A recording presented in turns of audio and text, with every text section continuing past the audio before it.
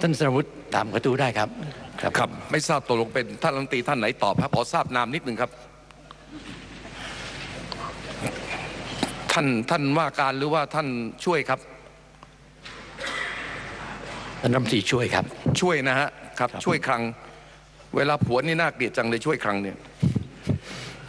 ครับห้าปีที่ผ่านมานะฮะสั้น ๆ นิดเดียวครับเวลามีจำกัดห้าปีที่ผ่านมาผมนะครับท่านสรวุฒินะฮะโดยความรักนับถือ ครับผมต่อเนื่องเลยนะฮะห้าปีที่ผ่านมาตามกระทู้นะครับตามกระทู้ครับเพาะท่าสั้นๆนิดเดียวฮะมีวลาสั้นๆอยู่จำกัดผมไม่ยาวครับครับผมครับครับมีเวลาครับเอ่อท่านผลานงบไปมากมาย ใช้มาตรา 44 แล้ววันนี้ท่านก็ยังใช้ทีมเดิม วิธีเดิม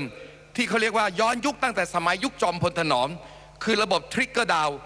นะซึ่งวิธีเดิมๆทำแล้วไม่ได้ผลนั้นเนี่ยมันเอ่อท่านไอน์สไตน์บอกว่างี้นะครับ มีแต่คนบ้าเท่านั้นที่จะทำสิ่งเดิมๆซ้ำๆ แต่กลับหวังผลลัพธ์ที่แตกต่าง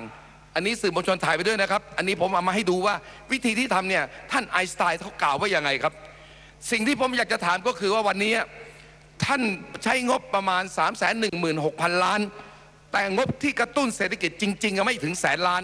ถ้าดูตัวเลขที่ไม่ใช่เงินกู้แล้วมันมีแค่ 30,000 ล้านเท่านั้น จากการชำแหละแยกออกมาดู นั่นแปลว่าอะไรครับ ท่านดูนะครับว่าเงินที่จะไปลงกระตุ้นเศรษฐกิจนะเทียบกับ GDP ประเทศ 15 ล้านล้าน เท่ากับ 0.67%ยังไม่ถึง 1%เลย จะไปกระตุ้นอะไรได้ครับ อันนี้อย่าหลอกลวงประชาชนนะท่านพยายามจะทำดิ้นเพื่อการสืบทอดไม่เป็นไร แต่ผมบอกว่างบตัวนี้ไม่พอแน่นอนครับ และสิ่งที่ผมอยากจะกล่าวต่อไปก็คือว่าถ้าเป็นเช่นนั้นน่ะผมตั้งฉายาของการกระตุ้นเศรษฐกิจครั้งนี้ว่าเป็นการใช้ยาหม่อง นะตราลิงแก้แห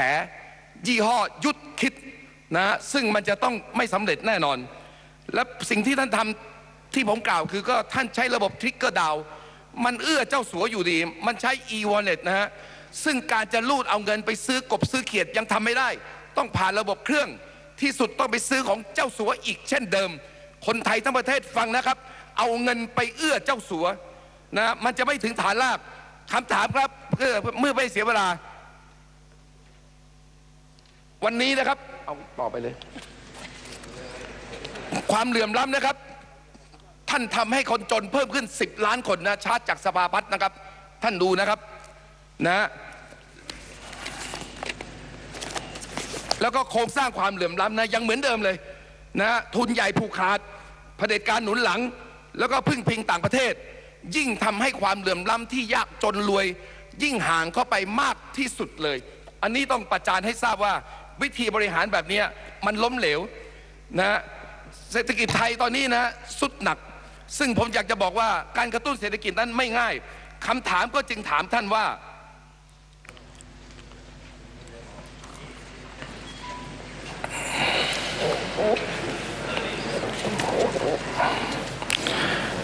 ท่านใช้ทีมเศรษฐกิจชุดเดิมที่ล้มเหลว แล้วการกระตุ้นเศรษฐกิจครั้งนี้ ผมอยากฟังว่าท่านจะทำยังไง แจงมาเป็นข้อๆเดี๋ยวผมจะสอนมวยกลับไป เชิญครับรัมตรีท่านตอบได้เลยครับ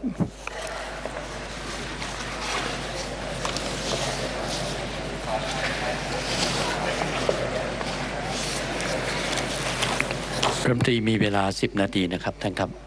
ทั้งตอบสองครั้งเนี้ยมีเวลา 10 นาที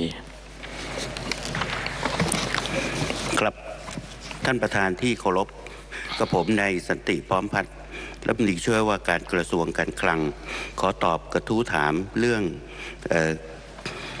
ขอตอบกระทู้ถามเรื่องออของท่านสมาชิกผู้ทรงเกียรตินะครับนายสลันวุฒิสลันเกตนะครับเเป็นกระทู้กระทู้สดถามเรื่องการแก้ไข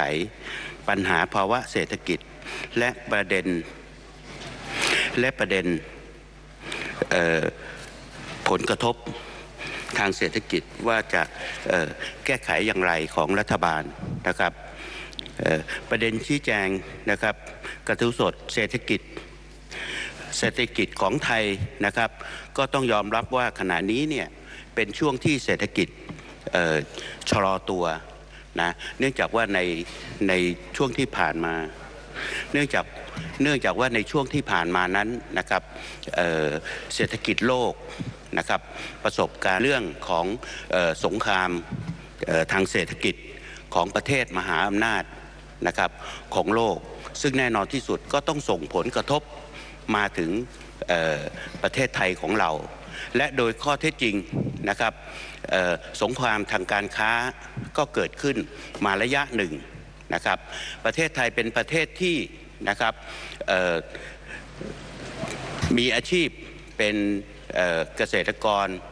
ผลิตพืชผลทางการเกษตร และนะครับเป็นประเทศเพัฒนาไปในทางอุตสาหกรรมนะครับ ดังนั้นเนี่ยเมื่อสังคมโลกเกิดปัญหาภาวะนะครับสงครามทางการค้า มันก็ทำให้ประเทศทุกประเทศระมัดระวังในการจับจ่ายใช้สอย ก็ทำให้สินค้าที่ส่งออกของเราก็กระทบกระทั่ง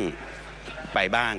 นะครับ โดยเฉพาะพืชผลทางการเกษตรที่มีความระมัดระวังสูงนะครับ ประเทศไทยเองนะครับ รัฐบาลเองก็ได้เร่งรัดในการแก้ไขปัญหาเหล่านี้นะครับแก้ไขปัญหาเหล่านี้เนี่ยนะครับให้ดีขึ้นนะครับ โดยการผลักดัน และมีงบประมาณในการกระตุ้นเศรษฐกิจที่ผ่านมา แต่รัฐบาลนี้เนี่ยนะครับก็เพิ่งเข้ามาบริหารบ้านเมืองเนี่ยนะครับเเพียงเเดือนเศษนะครับ ก็ได้ดำเนินการหาวิธีแก้ไขเพื่อสร้างงานในชนบทนะครับ และกระตุ้นการบริโภคของพี่น้องประชาชนนะครับ ให้เกิดการบริโภคภายในประเทศนะครับ ให้สามารถนะครับที่ จะขับเคลื่อนเศรษฐกิจทั้งภาคเกษตร ภาคอุตสาหกรรมนะครับภาคการบริโภคต่างๆ ให้มีศักยภาพเพิ่มขึ้นนะครับ แล้วโดยข้อเท็จจริงนั้นขณะนี้นะครับเศรษฐกิจของของไทยนะครับไม่ได้เลวร้ายนะครับอออย่างที่คิด